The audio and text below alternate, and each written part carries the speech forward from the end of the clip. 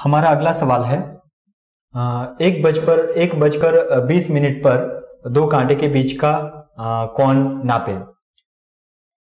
चलो, सबसे पहले हम एक बजे क्या सिचुएशन होता है वो देख लेते हैं घड़ी में। ये सिचुएशन होता है। छोटा छोटा कांटा होता है वो एक पर होता है और बड़ा कांटा बारह पर, ओके? और अभी जैसे जैसे टाइम जाएगा, वैसे दोनों के बीच का डिस्टेंस कम होगा, हमें यहाँ पता चलेगा, जो बड़ा कांटा है वो आगे जाएगा। तो यहाँ पर एंगल है, वो छोटा होता जाता है।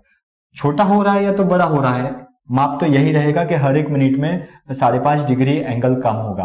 अभी एक बजे यहाँ जो एंगल बन रहा है, वो थर्टी डिग्री है, क्योंकि बारह के, बारह से एक के एक के बीच में जो एंगल होता है, वो थर्टी डिग्री होता है। ओके, अभी एक बज, बजकर बीस मिनट पर क्या होगा? तो बीस मिनट पास हो रही है तो हमें ये बीस को साढ़े पाँच से मल्टीप्लाई कर देना है। तो हंड्रेड एंड टेन यानी hundred and ten degree angle कम हो रहा है ओके अभी थर्टी में से अगर आप हंड्रेड एंड टेन माइनस करोगे तो वो होगा नहीं क्योंकि हंड्रेड एंड टेन ज़्यादा है तो होगा क्या? पहले कम होते होते ज़ीरो हो जाएगा, और फिर वो कांटा आगे जाएगा तो बढ़ेगा। तो उसको हमें क्या करना पड़ेगा? 110 में से 30 को माइनस करना पड़ेगा। तो 110 10 में से 30 जाएगा तो 80 डिग्री होगा। तो एक बजकर 20 मिनट पर जो एंगल बनेगा, वो 80 डिग्री बनेगा।